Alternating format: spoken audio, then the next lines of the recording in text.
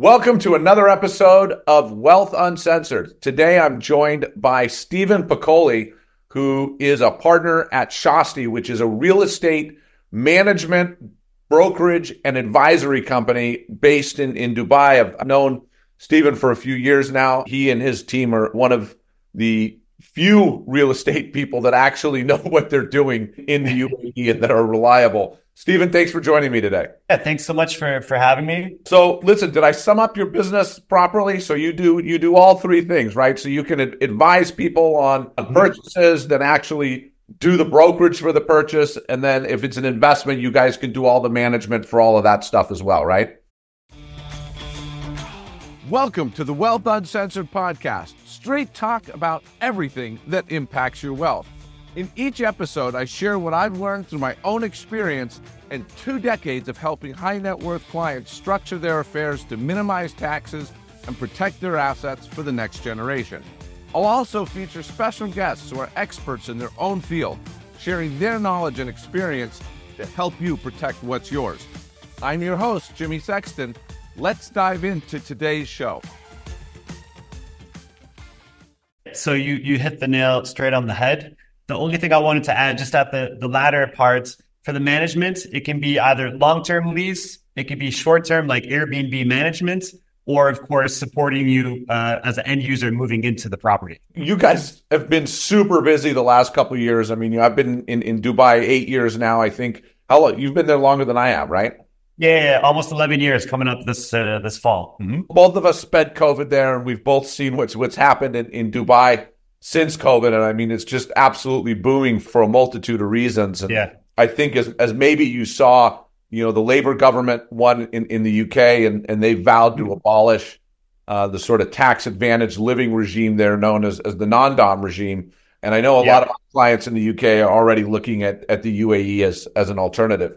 And so one of the things I wanted to talk about today, because I think there's people that are obviously looking to invest in, in Dubai because they want to live there. There's people that want to invest in, in Dubai because they want to have investment properties that they want to rent out, as you said, long term or short term. I think one of the things that, that I've always come across, I mean, until I met you guys, whenever anybody asked me for a referral to a real estate agent or somebody that could give advice on, on real estate, I was like, I'm, I'm staying out of this. You know, so many people in Dubai are just unreliable. They don't return calls. They don't show up at appointments when they're supposed to. They just try to sell the buildings where they're going to get the best commission or where they know somebody rather than like really digging into you know what's going to be best for, for the client. And i know that that's something that you guys are really good at on the the mm-hmm. advisory side. I wanted to start there. For people that are are looking to to move to dubai i think even those you can break up sort of into two categories right? Those with families and not right. with families. You know what are sort of the hot spots that you're seeing at the moment in terms of you know where somebody who's moving to Dubai might want to look at, at properties? I think so. There's a lot of hotspots. Before getting into the the details on specific areas, I want to talk about why actually the Dubai market is so red hot right now. You spoke about COVID, and this is one of the the major impacts that we're still feeling today. And let me just give a little explainer. So the inventory currently is actually quite limited in terms of what's available out there. So this is why the market is so red hot and people are scooping up whatever properties are available, whether it's secondary market or off plan. And for those aren't familiar, off plan means a developer who is going to construct the building in the future. So I can purchase that property and in two, three, three and a half years, uh, it will be handed over to me. But so yeah, COVID, man. So there was a peak back in 2014 in terms of real estate prices, continued to drop, and the bottom hit basically when uh, COVID came. During this time, a lot of inventory uh, was being shifted over to short-term rental or Airbnb management uh, because the returns are a bit uh, higher. So we have this set uh, inventory that's uh, on the market, and because of COVID, a lot of the, the developers slowed down or even halted their development projects. Okay. So this means fast forward a couple of years, there's going to be less new inventory coming on the market. And uh, COVID was handled very well by the UAE government and Dubai government. And uh, we had a small lockdown, but as you might remember, things started to open up quite quickly. Business was trying to be done as usual. And in the world, it was one of the premier places to be, conduct business, and actually live a normal life, uh, as normal as it could be back then. As uh, we came out of the COVID era, more and more people wanted to move to Dubai because it already had a running start. And because of that, uh, people uh, had a hard time finding properties because I, I, talked about that inventory, which wasn't really available. Yeah. And so for those who did have properties, people were able to command higher rents. So rents got higher and higher. The property prices were super low already.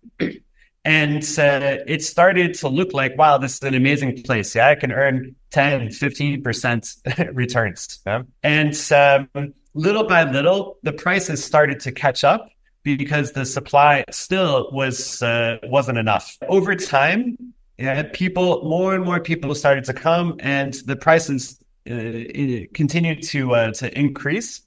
And uh, fast forward to today, this is kind of why we're at all time record highs in terms of the the market. So coming back to your original uh, question, yeah, why or what neighborhoods are are red hot?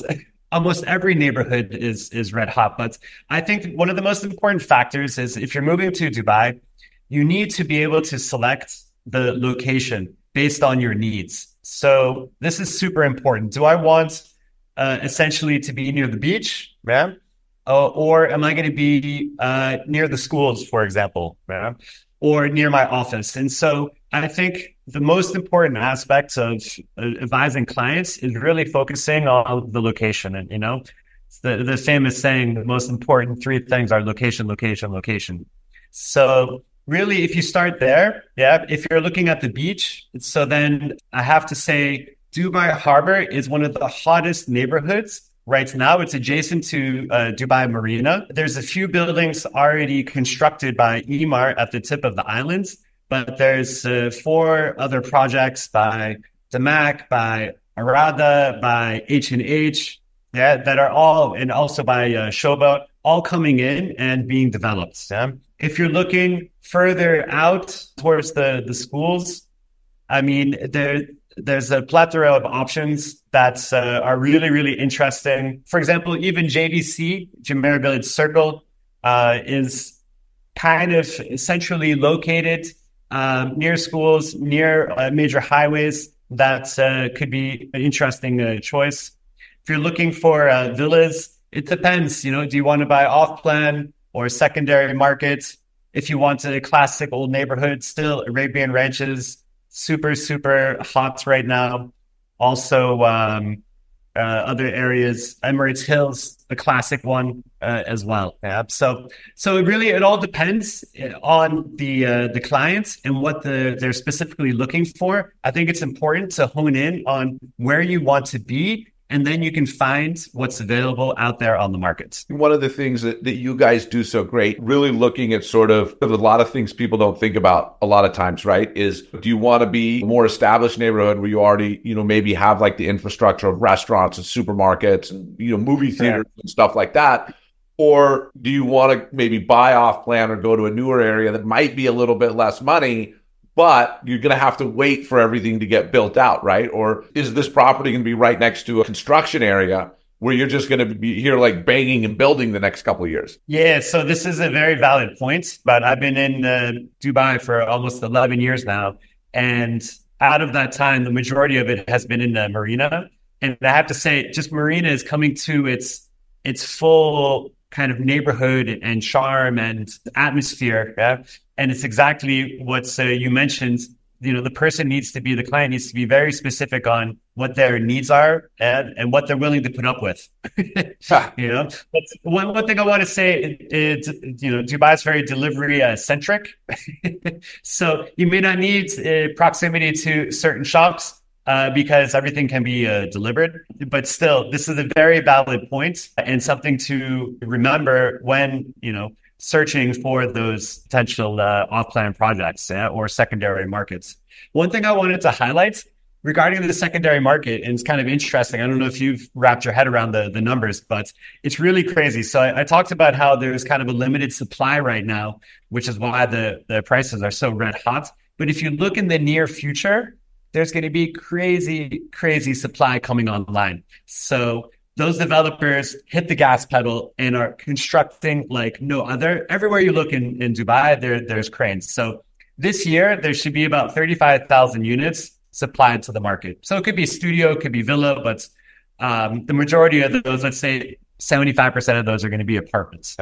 But you, you get the picture. Yeah. So 35,000 uh, this year. Uh, the following year is about 60,000. And then the year after is 100,000 uh, units coming online. So this is absolutely extraordinary. And one thing to keep in mind as well, if you're an investor, is the 2040 plan of Dubai. You know, we talked about some infrastructure, you know, talked about neighborhoods if you're selecting, you know, what about supermarkets and, and, um, you know, other retail uh, options or, you know, office, things like this. But if you look at a higher level, look at what the government is doing. Yeah? Look at what they're constructing. And so one of the, the big factors here they want to increase the population to 5.8 million, and we're currently at about 3.5. Yeah? So they have certain tools in their toolkit that they're they're leveraging to try to attract more people. So you spoke you spoke about the election in, in the UK. What does this mean for tax purposes?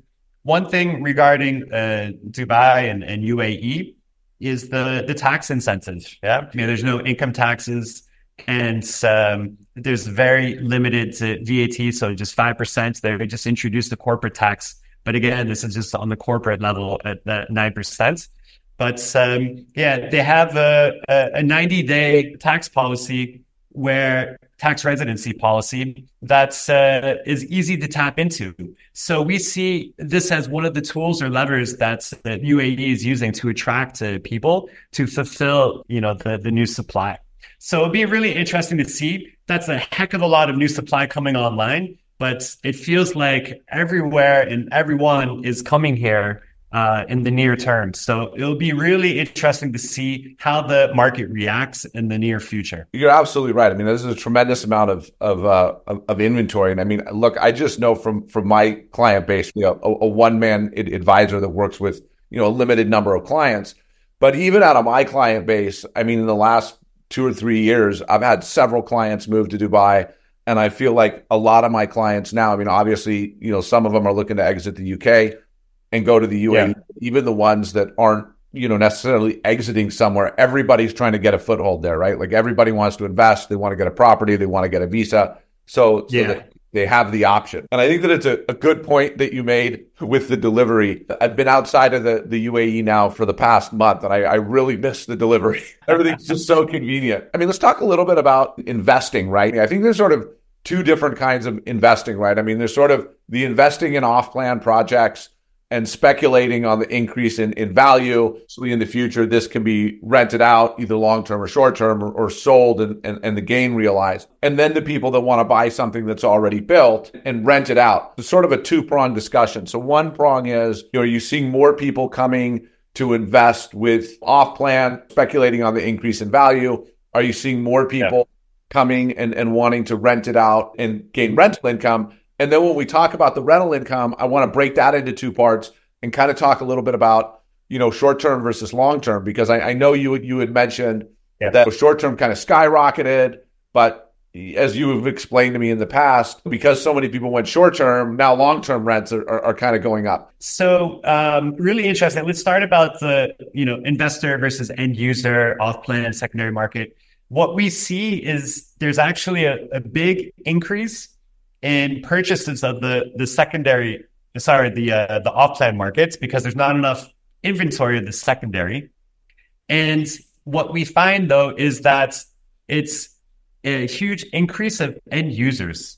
Yeah. So residents or part-time residents looking for properties. Yeah. So it's not purely investment. And because of that, their mindset is a little different versus someone just focusing on ROI. Yeah.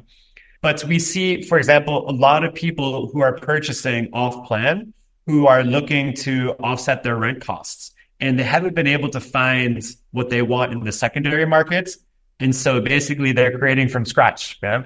And there's nothing better than moving into a, home that or a building that no one's ever lived in. Yeah. So it's that new car smell. It's the new home smell. Yeah.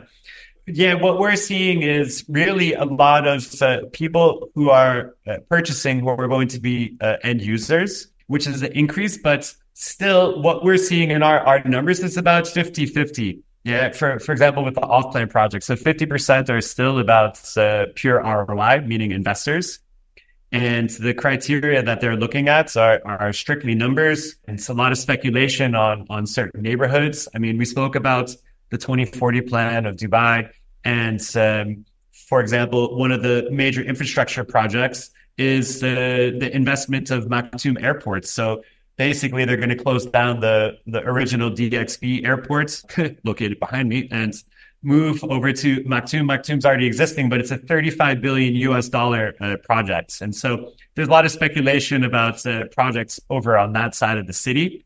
Also, if you look, there's a second uh, Palm Islands or set of islands, Palm Jebel Ali, also that side of the city, which has been uh, relaunched by Nakheel and so you can see there's a whole bunch of projects and kind of a new center of gravity being pushed. So if you look at, I don't know, some neighborhood, for example, Dubai Hills, which used to be considered kind of a little further out, maybe not in the center. But if you kind of draw a circle around all these new projects, you're finding that Dubai Hills is now straight and, and strictly like in the center of, of Dubai.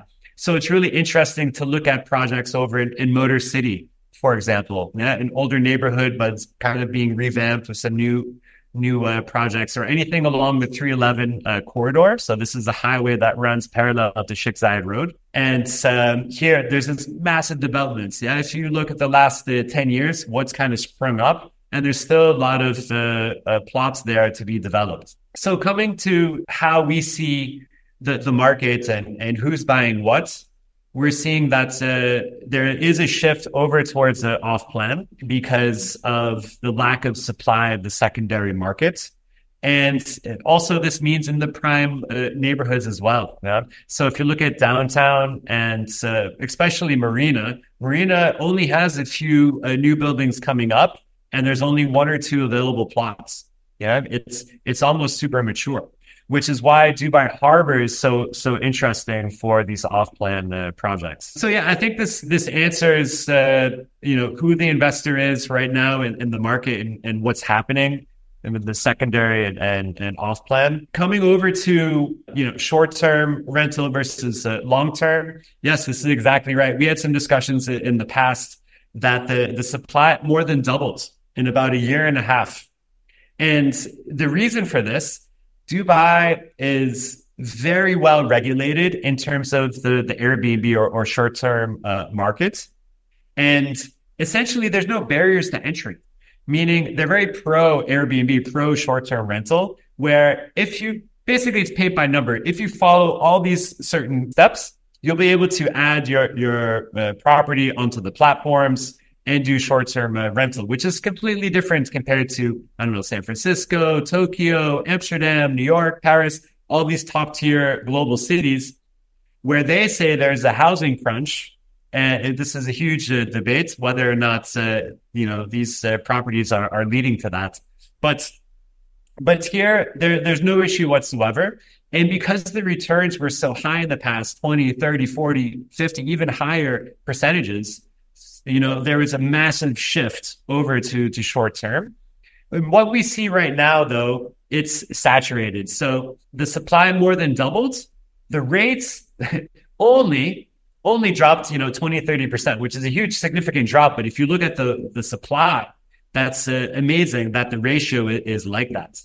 So it depends. I have to say, if you're an investor and uh, you're looking, you know, at the two options, there's nuance behind uh, the the buildings, the location, the views, the the fit out, meaning the furniture inside the, the property, things like this, which could lend one or the other to be better. It's very competitive on both sides. So it's really interesting to see, you know, where that market's going to head in the future because there'll always be a, a short-term market, and obviously there's going to always be residents looking for long-term rents uh, as well.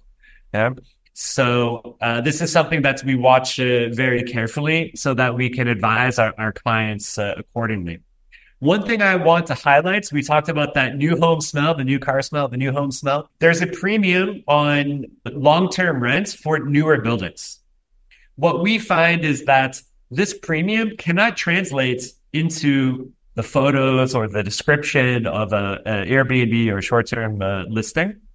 Um, only residents are going to know that. Yeah, uh, they know the building, they know uh, the location, things like this, and so there's a 20% premium on the first few years of a, a newly developed building. And so this is something that uh, we advise our clients on and uh, still, we look at the numbers. We try to be as uh, honest and transparent as uh, possible. We work on uh, facts and figures. You know, we we take only uh, data from um, DLD, so Dubai Land Department, review the uh, the transactions. So everything is available. There's a couple of providers. We use Reidin. Yeah, another one is Property Monitor. Both of these are subscription based, and there's one called DXB Interact which is uh, kind of a simplified version of the data, but it's free and available to use. So if you're an investor or thinking to invest or a current uh, resident, you can go over to DXB Interactive and take a look at rent transactions, sales transactions. So you can go into your negotiation with either your, your landlord or the seller, whoever, the buyer, yeah, and uh, negotiate a proper deal. Yeah. So this is uh, some super useful tools. And one great thing about Dubai being such a modern and tech savvy, tech friendly uh, city, all this information is available. And in my opinion, it's unlike uh, most cities around the world because of that. I mean, I've never seen such an uh, efficient interaction with the government or, or, or, transparency in data as in Dubai. What other government in the world cares how happy its residents are other than, Dubai, right? And actually tries to make their, yeah. their lives easier. It takes a lot of time and effort to go through and really analyze that data and sort of figure out what's what and then you also sort of need the practical aspect of it, right? I mean, I know that that's something that we've talked about a lot in the past. Yeah. You guys do a lot of market analysis. You know, you guys spend a lot of time analyzing the market and what's going on, and then obviously, you know, you also see what, what's going on with with with your clients. So, and and I know that that's something that you guys always bring to the table whenever you know you guys get a client that, that you're advising on. So, I mean, essentially, you know, if a client comes to you, whether they're an investor or, or, or, residential person, this is kind of what you do, right? Like you use your experience, you use this knowledge and essentially help them figure out what's going to be sort of the best fit for them, right? And, and, you know, one of the biggest challenges as let's say we have a client who wants to buy something, what we find is that they don't 100% know and it's not a, a, an issue or a problem from from their side meaning they're not doing it on purpose but sometimes they don't know the dubai markets as well as you know obviously residents or or myself or, or my team. And so this is where the, the benefits are, are coming in. Obviously we're very client centric we're very metric driven but we're also giving that kind of anecdotal secondary information that helps them decide on certain areas and what they want. But this is the most important to get that information down onto paper, make sure that it's 100% clear, and then we can execute on the plan because it's a really diverse city. If you look at the distance between uh, two of the, the core neighborhoods of downtown Dubai and Marina, it's about you know 20 kilometers which is huge. That would be twin cities in in some locations, right? So the, it's a vast, vast, dynamic uh, city with lots of different options. And so it's really important that uh, the client knows exactly what's out there. And it's our job to present all of that to them.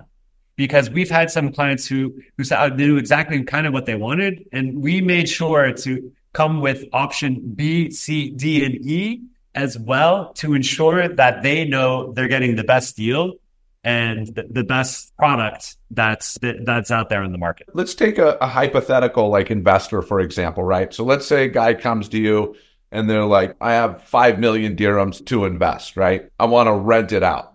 So you would then help them analyze, like, okay, given your budget, this is sort of the area that you should look at. You should look at short term rental versus long term rental and kind of figure right. out, like, for that budget, what's going to get them the best return, right? Whether that be short term or, or long term rental. Even uh, before that, so it's very important to understand their their investing horizon. Are they looking to flip like with, within one year? Are they looking for pure appreciation or are they looking to cash flow? Are they looking, are they long term? Are they looking to retire somewhere and have passive income? So all these factors are, are super important because obviously the, the capital appreciation in the, let's call it the more mature neighborhoods is going to be less than some maybe of the up and coming. Yeah. What is their risk tolerance? So all these uh, factors and variables are super important. And we go through step by step. Basically, we have a, a by number system as well with our clients. Of course, there's always some nuance and, and ad hoc uh, requests, but we, we make sure that we're understanding our clients 100% in order to service them the best way possible. Yeah, because you know there, there's there's so much uh, nuance behind each investor and the city itself that we really need to make sure that those details are clear uh, from their side. As I understand it, you guys do that full service, right? So if you're doing short term, you're basically like, hey, here's my apartment, and you guys do the marketing, the cleaning, the fitting it out, yeah. all that yeah. stuff, right? Yeah. So even one step earlier, let's say it's a newly purchased property and there's no furniture. We have an in house interior designer and fit out team that will go and purchase all the furniture and uh, basically stage the, the property, get it up and ready uh, for the uh, professional photographer, create the listing, uh, do all of the municipality admin. As I said, there's basically low entry points for anyone who wants to do uh, a short term rental here in the city, but there's a, a list of things and it's a huge hassle. And this is actually one of the funniest things that people don't realize is how much work it is to do short term uh, rental. So our short term uh, services are A to Z. We do literally everything.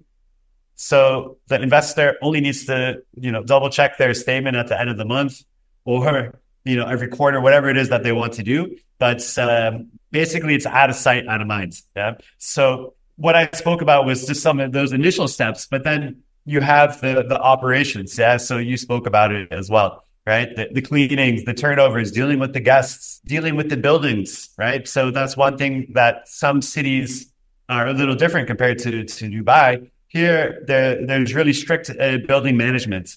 So whatever, basically whatever we do for the government, we're actually having to do with the, the building as well in terms of uh, security. Yeah, there's a, a lot of uh, work uh, which is handled on the the back end, but um, yeah, if you look at uh, you know short term versus long term, I mentioned earlier in our conversation that there's going to be nuance to each building, each uh, neighborhood, and things like this. But uh, typically, you're looking at you know a 10, 15, 20 percent better return compared to to long term. But it can be really competitive in certain cases. So we really need to be careful when we talk to our clients, and also it can change very quickly. One interesting thing, uh, Jimmy, is that right now we see a lot of people keeping their properties on short term because the market is so red hot. They want to sell the property. The reason they keep it on short term, it's about 5% more valuable because whoever the purchaser is, they have all options. Yeah? Meaning they could be end user and move in, they can do long term or short term. And the thing is, if there's an end user who's purchasing a home and there's already a tenant inside, it's a minimum of one year notice to inform the tenants and have them evicted. It's a real challenge here in Dubai, positive or negative. Maybe that's another show.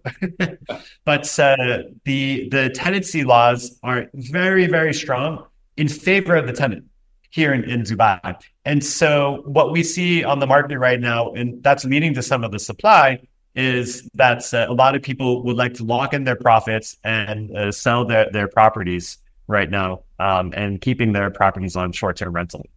That's a really good point that I hadn't thought of. If you keep it on short term, it definitely gives the buyer every option. You guys essentially do the same thing on long term. You guys do a do the full service. You find the tenants, you, know, get them in the in the units, manage the ongoing relationship, all that stuff, right? So another thing you need to be careful because the tenancy laws are so strong. If you get a subpar tenant, let's say you get a bad bad tenant, you're you're you're stuck. And actually, we have a few clients who, even though uh, the earnings on short term are maybe 5% less compared to long term.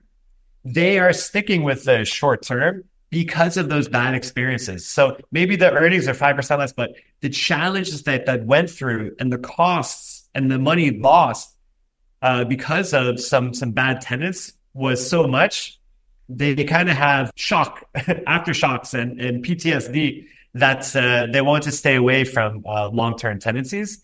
And so, yeah, some of our clients are on short term because of that. But but uh, what I wanted to highlight was that you really need to make sure you do due diligence and get a, a proper tenant inside. There's a lot of options out there where basically only the the tenants moving in would be paying the agent uh, a certain fee for uh, finding the, the property and you know all the uh, actions within the municipality and things like that, that which are needed. We actually, as part of our property management, we're, we're charging it's basically five percent of the the tenancy fee, but uh, this includes finding a tenant. But we're doing homework, we're doing the due diligence uh, to ensure that uh, there's not going to be any cases at the RDC, that's the Rental Dispute Center, basically Rental Dispute Court. But you need to make sure you get the right tenant inside, double checking salary certificate, for example. These aren't required, but these are some of the things that we're doing to ensure that we're getting the right tenants inside.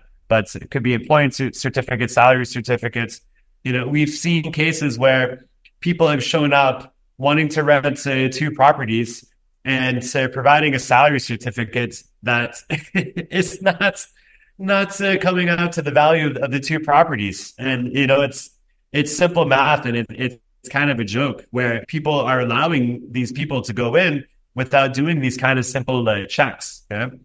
and um, yeah as i said you know even if you raise a, a, case at the RDC, it's going to be a long, drawn out process because the tenancy uh, laws are in favor of, of, the tenant. So it's really something that you need to make sure that you're you're covering all your bases and ensuring that so you get the right person in. Which is why this is one of the the services that we uh, provide. I, I have quite a few friends that over the years, you know, have rented out their properties directly. You know, um, mm-hmm. It ha- hasn't always worked out so well, as, as you said, right? Look, so this, this has been a great episode. Before we sign off, I just wanted to, to see if you had any final thoughts or any sort of tips for people considering buying in, in, in Dubai that you'd like to like to share. The final tip is no one has a crystal ball, right?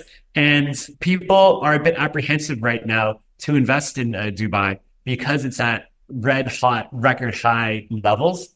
But I want to, to highlight that there's still a lot of momentum and a lot of tools in the, the government's uh, toolkits. We spoke about some of them uh, earlier with the uh, the tax residency. They've we didn't uh, touch it, but the, there's a whole slew of new visas which have been released since COVID. The most famous is the, the golden visa, which they've recently reduced the uh, the threshold. The property, one of the criteria for the golden visa, the property needs to be at least valued at two million dirhams. But in order to achieve uh, the, the visa, you only need to transact a certain amount in the secondary market. Basically, you just need the, the title deed, yeah? uh, which means if you buy via mortgage, that just means you have to make the, the down payments, yeah? and then you get the title deed in your name, and then you're good to go, along with a few other criteria for the golden visa. But and by the way, this is something that we can uh, help with as well, and we see a lot of investors coming. But but what I'm trying to say is that even though the market is still uh, uh, very hot, uh, it's still a very attractive uh, market to invest in. Yes, there will be a correction probably in the near uh, term, maybe let's say one year. Uh, from now, I think there's still a lot of room, wiggle room within the next 12 months but um, there's still a lot of uh, tools in the toolkit. So when this correction happens, it's not going to be as pronounced as the the past, in in my opinion. Uh, we'll have to wait and see what what happens, you know, with the, this new supply, but with all the other initiatives from the UAE government. So it's going to be a really interesting and dynamic place. More than happy to talk to you or any of your clients or whoever is out there listening to this uh, uh podcast. Let's get in touch. We can get into detailed discussion about your needs and how we can fulfill them in the Dubai real estate market. Well, Stephen, thank you so much for your time today. It's been an interesting discussion, as, as, as all of our discussions always are. I'm going to make sure to put your contact information in the description so that anybody that has any interest in, in, in the UAE property market, acquiring it or having you manage it or whatever, knows how to get, get in touch with you and, and take advantage of your breadth of knowledge. Thanks again for joining today. Yeah, thanks so much for having me and talk to you soon. Thank you for joining me on Wealth Uncensored, where we help you minimize taxes and protect your wealth for the next generation. If you like our show, be sure to subscribe and leave a review. And if you have any questions or suggestions for future episodes, we'd love to hear from you. You can email us at info at esquiregroup.com. And don't forget to visit Esquire Group's website for more information on how we can help you secure your wealth. I'll be dropping knowledge again next week. Don't forget to join us.